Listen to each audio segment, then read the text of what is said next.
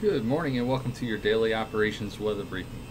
Well, we have some clouds in the area this morning. Mostly cloudy conditions will continue through most of the day today, but looking at pretty good weather all overall today as we'll see uh, shower and thunderstorm activity hold off until later on this evening.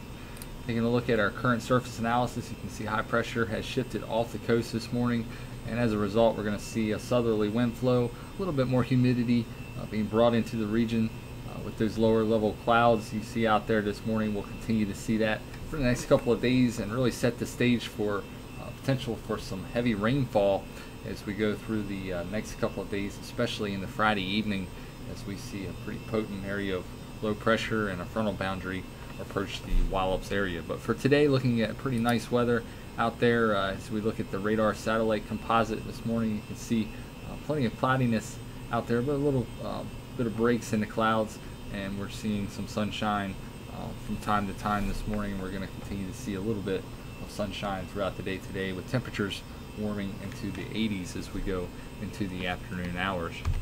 Taking a look at current conditions out there, we see uh, multiple cloud decks at the low and high levels of the atmosphere. You can see a few clouds at the 1500 foot level, a broken deck at 4,000 feet, and then we see an overcast deck at the uh, higher levels of the atmosphere at 25,000 feet. Winds out of a southerly direction at 8 knots as of 8 a.m. We see a temperature of 73 degrees and humidity at 90%.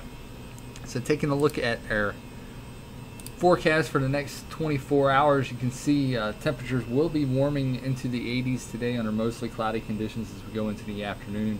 Not looking for really any chances for precipitation until we get into the evening hours tonight where we'll see an area of showers and thunderstorms that will approach from the west right around 9 o'clock this evening we'll introduce those chances. About a 35% chance of a thunderstorm occurring after 9 o'clock this evening as we go into the uh, midnight hour and into the early morning hours. We'll see those chances for showers and thunderstorms linger uh, into the early morning hours uh, probably should be all over by about 5 o'clock in the morning.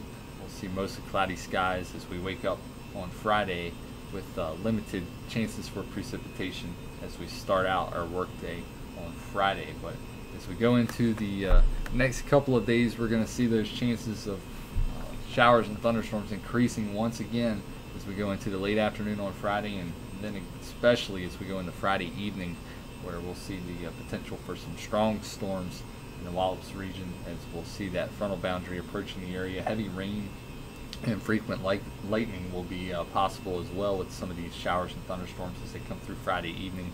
Uh, as you can see, a likely chance of that occurring uh, between 71 and 100% chance of precipitation and lightning within 10 nautical miles after uh, 7 p.m. on Friday evening and continuing into the overnight period.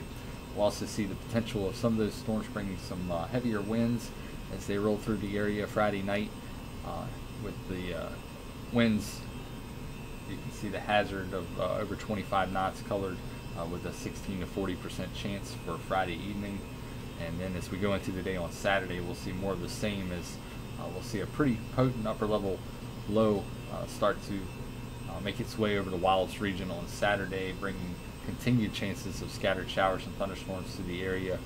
Looking at cloudy conditions throughout the day on Saturday with some of those storms again possibly bringing some heavy rain we'll get up to a high temperature right around 80 degrees, and uh, we'll see, uh, again, a pretty good chance of some showers and thunderstorms continuing into the day on Saturday. That'll wrap it up for the uh, daily operations weather briefing. We'll be back again at 10 a.m. for a extended look at your forecast and what we can expect for the uh, beginning of next week. Have a nice morning.